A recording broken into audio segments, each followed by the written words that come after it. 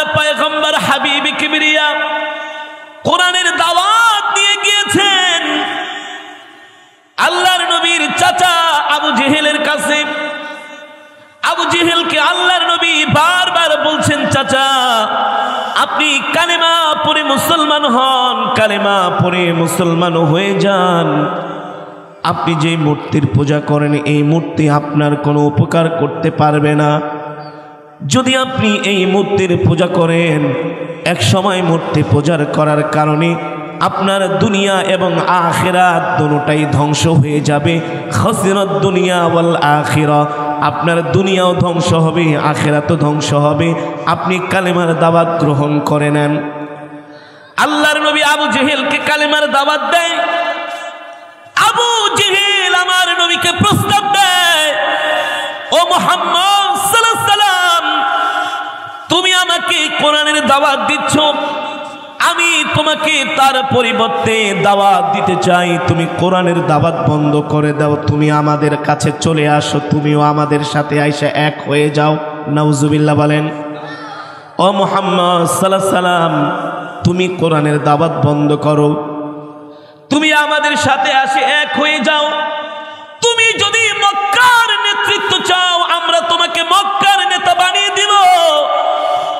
তুমি হবে রাষ্ট্রপ্রধান।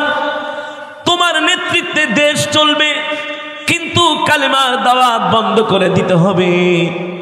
আল্লাহর পয়গম্বর বললেন, চাচা, কালেমার দাওয়াত বন্ধ করা যাবে না, কোরআনের দাওয়াত বন্ধ করা যাবে না।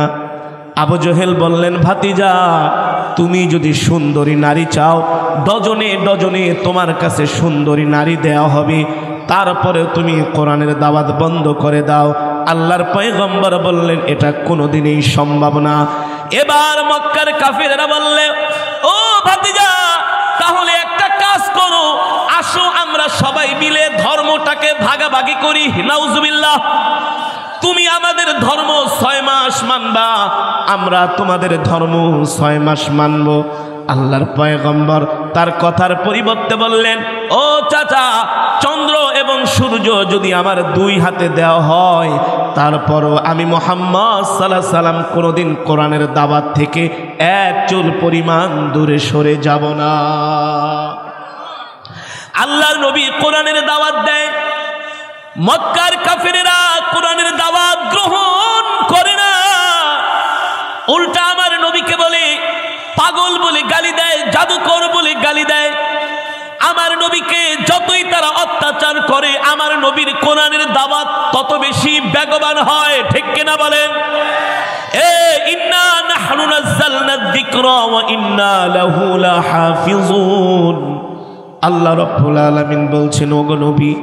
আমি আপনার উপরে কোরআন অবতীর্ণ করেছি, আর এই কোরআন হেফাজত করার দায়িত্ব আমি আল্লাহ গ্রহণ করেছি। আল্লাহ আকবার। জোরে বলেন, আল্লাহ আকবার মক্কার কাফিরেরা যতই চক্রান্ত ষড়যন্ত্র করুক না কেন তারা কোরআনের দাওয়াত বন্ধ করতে পারবে না কোরআনকে তারা মিটায় দিতে পারবে না। যারা কোরআনের দাওয়াতকে মিটায় দেওয়ার চেষ্টা করবে, যারা কোরআনের বিরুদ্ধে ষড়যন্ত্র করবে, আমি আল্লাহ রব্বুল আলামিন তাদের বংশ শুদ্ধা তাদের অস্তিত্বকে বিলীন করে দিব। ঠিক কিনা বলেন? আল্লাহ, আল্লাহর নবীকে যেই নির্দেশ দিয়েছেন, আল্লাহ রব্বুল আলামিন তার নির্দেশ অক্ষরে অক্ষরে পালন করেছেন। আবু জেহেল, ওতবা, সাইবা আবুল আহাব কোরআনের বিরোধিতা করার কারণে আজকে তাদের অস্তিত্ব দুনিয়ার জামিনে টিকে নাই। আছে? আবু জেহেলের অস্তিত্ব টিকে নাই। আবু জেহেলের বাড়িকে বাথরুম বানানো হয়েছে, ঠিক কিনা বলেন? আবু জেহেলের বাড়িতে যে মুসলমানরা প্রস্রাব করে, পায়খানা করে, আর আমার নবী মোহাম্মদ সাল্লাহ সাল্লামকে হুমকি দেওয়া হয়েছে হে মোহাম্মদ সাল্লাহ সাল্লাম কোরআনের দাওয়াত বন্ধ করে দাও। আল্লাহর নবী কোরআনের দাওয়াত বন্ধ করে নাই। আল্লাহ রব্বুল আলমিন বলেছেন, ওগো নবীজি, আপনি ভয় পায়েন না, চিন্তা করবেন না। আবু জেহেল যতই হুমকি দামকি দেখ না কেন, আবু জেহেলের ক্ষমতা হচ্ছে আড়াই হাত। আড়াই হাতের ওই পারে আবু জেহেল যেতে পারবে না, পারেও নাই। ঠিক কিনা বলেন?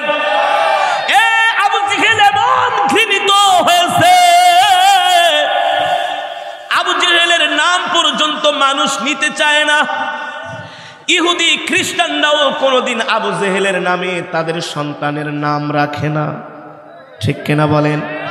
আবু জেহেলকে মানুষ এতটাই ঘৃণা করে, কিন্তু যেই নবী মোহাম্মদ সাল্লাহ সাল্লাম মক্কার কাফেরদের কাছে বাইতুল্লার চাবি চেয়েছিলেন এ বাইতুল্লার চাবিটা দাও।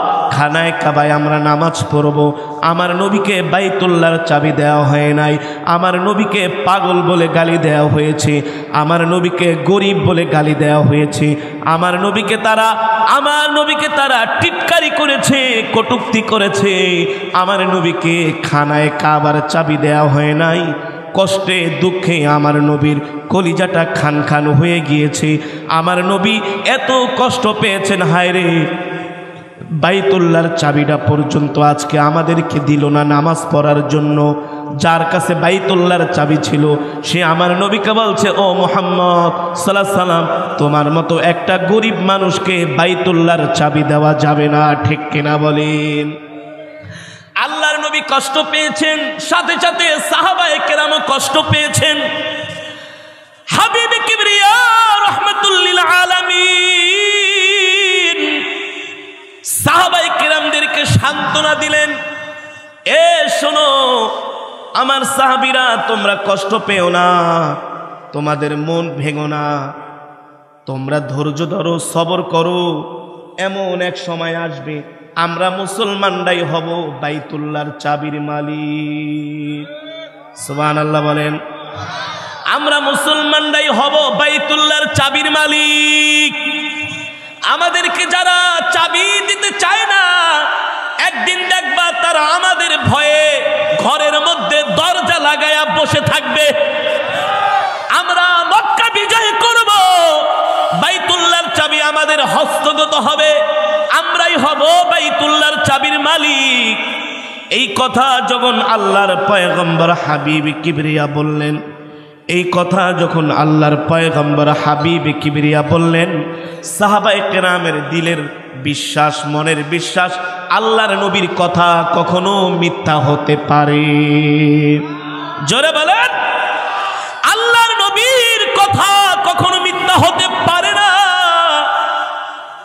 মক্কার জমিনে আমার নবীর অবস্থা এতটাই খারাপ ছিল। মুসলমানদের অবস্থা এতটাই দুরবস্থা ছিল। এতটা এতটাই বিপদের মধ্যে ছিল। দিনের আলোতে, সূর্যের আলোতে সাহাবায়ে কেরাম নবীজির সাথে দেখা করতে পারতেন না। এতটা বিপদের মধ্যে মুসলমানরা ছিল।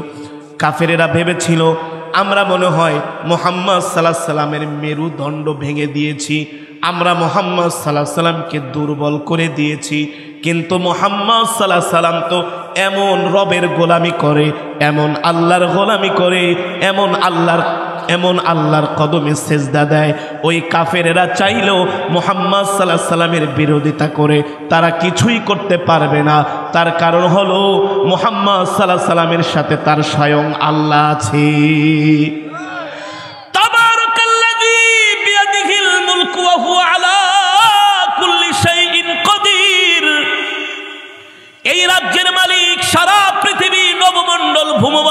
যা কিছু আছে, নবমণ্ডল, ভূমণ্ডল, যা কিছু আছে, সব কিছুর উপরে একমাত্র কর্তৃত্ব হচ্ছে আমার আল্লাহর।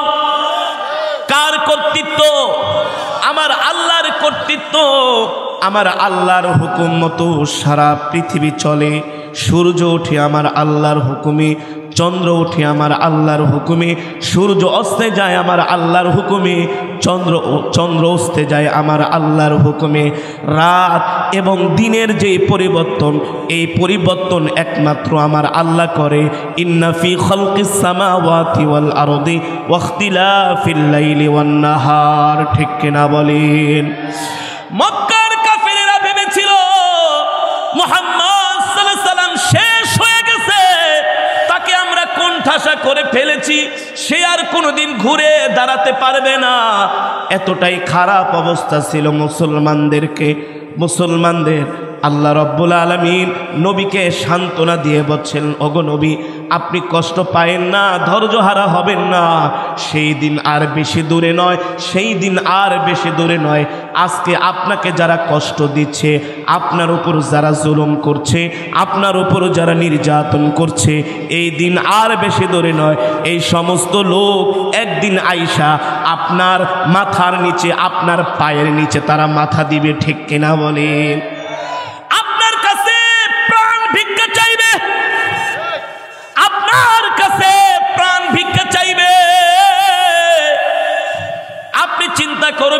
আপনি কালেমার দাবাত দিয়ে যান।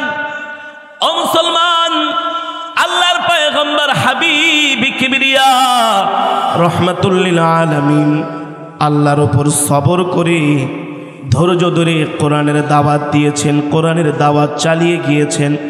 কোরআনের দাওয়াত বন্ধ করে নাই, কোরআনের দাওয়াত বন্ধ করে নাই। আল্লাহর নবীর ওপরে যত অত্যাচার, জুলুম, নির্যাতন এসেছে, কালেমার দাওয়াত বন্ধ করে নাই। কোরআনের দাওয়াত বন্ধ করে নাই। আল্লাহ রব্বুল আলমিন এই কারণে আমার নবীকে সারা পৃথিবীর জমিনে সব পয়গম্বরের চাইতে আল্লাহ রব্বুল আলমিন আমার নবীর উম্মতের সংখ্যা বাড়িয়ে দিয়েছেন, ঠিক কিনা বলি? কোন কোন নবীর উম্মতের সংখ্যা ছিল আশি জন, একশো জন, ছয়শো জন, পাঁচ লাখ, ছয় লাখ।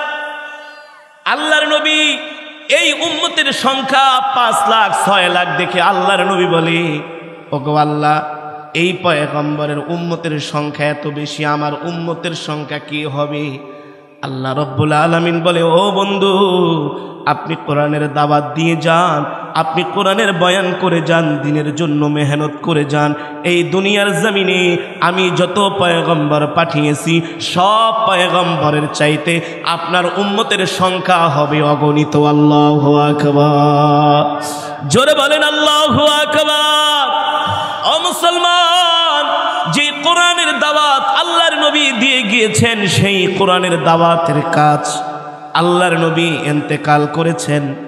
সেই কোরআনের দাওয়াতের কাজ আজকে আমাদের মুসলমানদের ঘাড়ে, ঠিক কেনা বলেন? আল্লাহর নবী যেমন করে কোরআনের দাওয়াত দিয়েছেন, আমাদেরও ঠিক একইভাবে কোরআনের দাওয়াত দিতে হবে, দিনের দাওয়াত দিতে হবে, কালেমার দাওয়াত দিতে হবে, দিন ভোলা, ইসলাম ভোলা, মুসলমানদের ধারে ধারে যে যে কোরআনের দাওয়াত দিতে হবে, কালেমার দাওয়াত দিতে হবে, মুসলমানদেরকে দিনের পথে আনতে হবে। কিন্তু এই কোরআনের দাওয়াত দিতে গিয়ে যতই বাধা বিপত্তি আসুক না কেন আমাদেরকে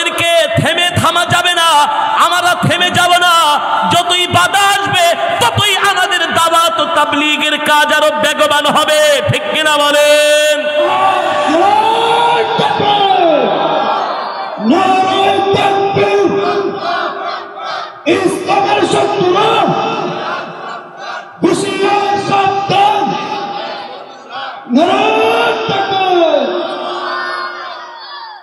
আমরাও যদি আল্লাহর পয়গম্বরের, আল্লাহর পয়গম্বর বিশ্বনবী সাল্লাহ সাল্লামের আদর্শ মেনে আমরা যদি তার আদর্শে আদর্শিত হয়ে, আদর্শে আদর্শবান হয়ে যদি আমরাও এই দুনিয়ার জামিনে, আল্লাহর জামিনে, কোরআনের দাওয়াত, দিনের দাওয়াত যদি আমরা চালায় যাই, আমাদের উপর যতই বাধা বিপত্তি আসুক না কেন আমাদের মাঝে যতই ফাটল ধরানোর চেষ্টা করা হোক না কেন, আমাদেরকে যতই দলে দলে বিভক্ত করার চেষ্টা করা হোক না কেন, আমরা যদি এক কোরআনের রশি ধরে থাকি, আমরা যদি আল্লাহর পয়গম্বরের হাদিসের রশি ধরে থাকতে পারি, কোরআন এবং হাদিসের সমন্বয়ে যদি আমরা চলতে পারি, এই পৃথিবীর জমিনে উম্মতে মোহাম্মদীকে দাবিয়ে রাখার মতো শক্তি কারণাই ঠিক কিনা বলেন?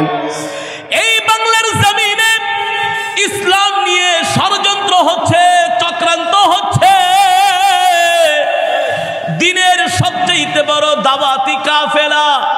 দাওয়াত তাবলীগের মাঝে ফাটল ধরানোর চেষ্টা করেছে। আমাদের ভাইদের মাঝে সম্পর্ক ছিন্ন করার যেই অপচেষ্টা চলছে, আমরা যদি কোরআন হাদিসের রশিকে আঁকড়ে ধরতে পারি, আমাদেরকে কেউ বিচ্ছিন্ন করতে পারবে না।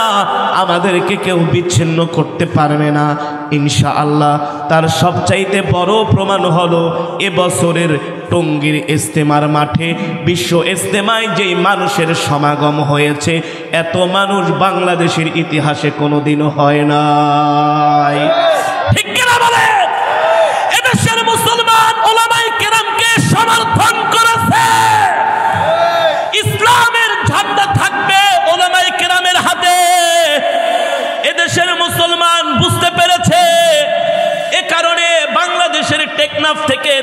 তেতুলিয়া সুরমা থেকে পাথুরিয়া, সুনামগঞ্জের হাওরে গেলাম।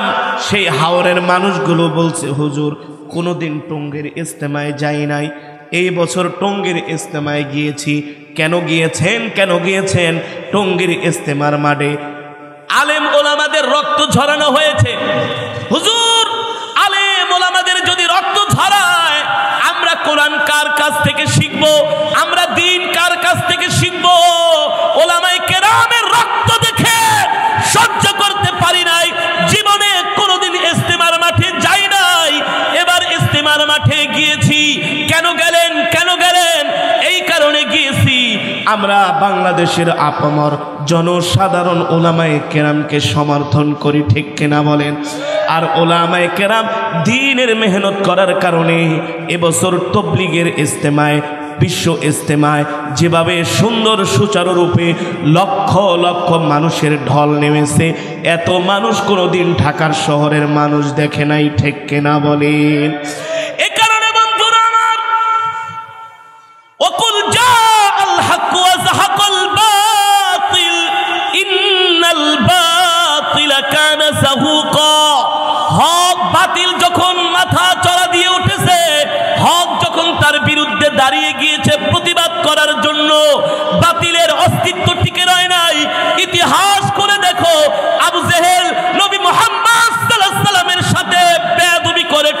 পারে নাই। ঠিক কিনা বলেন? এ নমরুদ পয়গম্বর ইব্রাহিম আলহি সালামের সাথে বেয়াদবি করে টিকতে পারে নাই। পারছে নাকি বলেন? এ ফেরাউন মুসা আলাইহিস সালামের সাথে বেয়াদবি করে টিকতে পারে নাই, ঠিক কিনা বলেন? আল্লাহর পয়গম্বরের সাথে যারা বেয়াদবি করেছে, আল্লাহ রব্বুল আলমিন তাদেরকে ধ্বংস করে দিয়েছে। ঠিক এই জামানায় এই জামানায় ওলামায় কেরাম আল্লাহ ওলামা ওরাসাতুল আম্বিয়া, ওলামায় কেরাম হচ্ছে নবীর ওয়ারিস এই দুনিয়ার জমিনে যারা আলেমদের সাথে বেয়াদবি করবে, যারা হক্কানি ওলামায় কেরামের সাথে বেয়াদবি করবে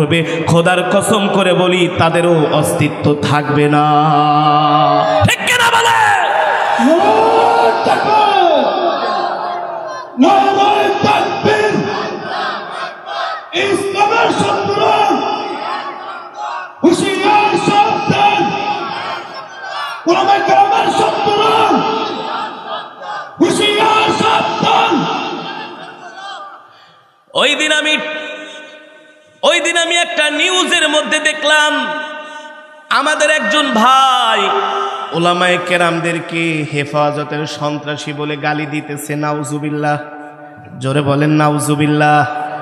ওলামায়ে কেরামকে যারা সন্ত্রাস বলে গালি দেয়, যারা জঙ্গি বলে গালি দেয়, বুঝতে হবে তাদের কপাল পুইরা গেছে। ঠিক কেনা বলেন? এদেশে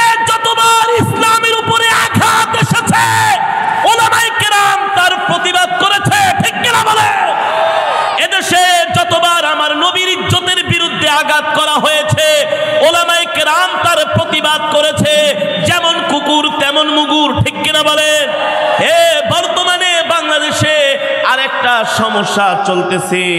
সেই সমস্যার নাম হলো কাদিয়ানি সমস্যা। কি সমস্যা?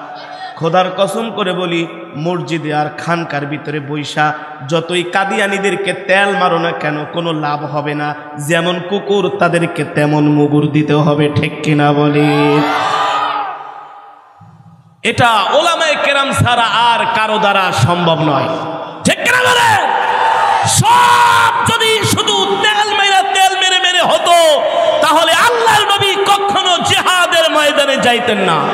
ঠিক কিনা বলে যে ওলামাই কেরাম একদিকে দাওয়াত ও তাবলীগের কাজ করে আর একদিকে মাদ্রাসায় বুখারী শরীফের দর্স দেয় আর একদিকে নবীর ইজ্জত হেফাজত করার জন্য রাজপথে রক্ত ছড়ায়, ঠিক কিনা বলে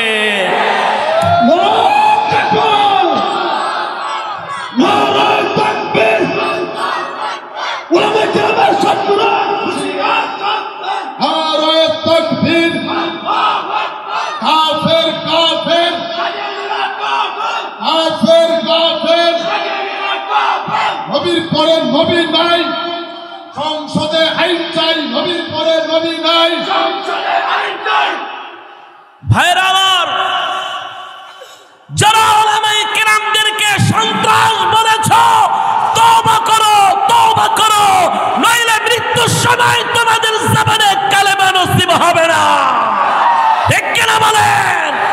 যারা ওলামাই কেরামের সাথে বেয়াদবি করেছে, তাদের শেষ পরিণাম ভালো হয় নাই। ইতিহাস পড়ে দেখো, ইতিহাস আজও সাক্ষী দিচ্ছে, ঠিক কিনা বলেন? এই এই মাদ্রাসার তোলাবালা এত কষ্ট করে সারাদিন রসুলের হাদিস পড়ে, এত কষ্ট করার পরেও তারা টঙ্গীর ইস্তেমায় গিয়েছেন মারামারি করার জন্য নয় দাওয়াত ও তাবলীগের কাজ করার জন্য সামিয়ানা বানানোর জন্য তাদের উপরে যারা হাত তুলেছে, তাদের উপরে যারা হাত তুলেছে, তাদের কাদের ভিতরে শয়তান ভর করেছে, ঠিক কিনা বলেন? কিন্তু যারা ওলামায়ে কেরামের বিরুদ্ধে কথা বলে ও তাবলীগের নামে, তারা আমাদের ভাই, ঠিক কিনা বলেন? তারা আমাদের কি? তারা আমাদের ভাই, এক দস্তরখানের মেহমান তারা। কিন্তু শয়তান ভর করার কারণে বদ জিনে ধরার কারণে ভূত পেতনিতে ধরার কারণে তারা এ সমস্ত আবল তাবল কথা বলছেন, ঠিক কিনা বলেন? আমরা আল্লাহর কাছে দোয়া করি, আল্লাহ তালা আমাদের ভাইদের হেদায়াত দান করুক বলি আমিন, আমাদের ভাইদের আমাদের কাছে ফিরিয়ে দেখ বলি আমিন। ইনশাআল্লাহ সেই দিন বেশি দূরে নয়, এই বাংলার জমিনে একটাই দাওয়াতে তাবলিগের নাম থাকবে, সেটা হচ্ছে ওলামাই কেরামদের দ্বারা পরিচালিত দাওয়াত তাবলিগ, ঠিক কিনা বলেন?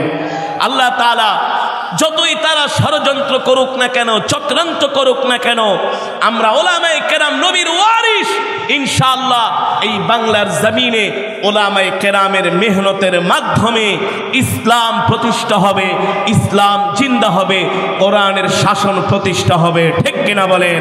আল্লাহ তাআলা সেই কাফেলায় আমাদের সকলকে সামিল করুক বলি আমিন, আমাদের সকলকে কবুল করুক বলি আমিন।